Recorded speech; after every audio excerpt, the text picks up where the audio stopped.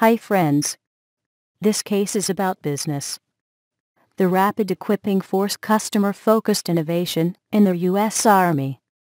The Rapid Equipping Force REF was a center of innovation within the United States Army.